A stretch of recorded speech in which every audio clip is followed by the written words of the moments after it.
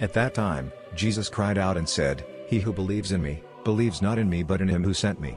John 12:44. Today Jesus Christ emphasized deeply on the source of his message, and the consequences of believing in him, and the implications of disbelieving in him. Thus, we can reflect on 1. As Christians, we must make efforts to always believe in Jesus Christ, because he who believes in him believes in the Father who sent him. 2.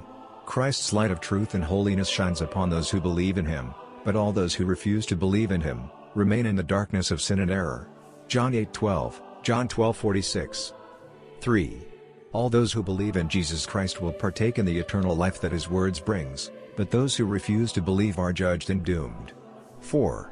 It is only when we accept Jesus Christ in our lives, that we come to know God the Father. Since Jesus Christ and the Father are one, and he who sees him, sees the Father who sent him. Therefore, as Christians, we must never be careless about the message of Jesus Christ, but we must carefully accept it, so that we can always share in the eternal life and light that he brings.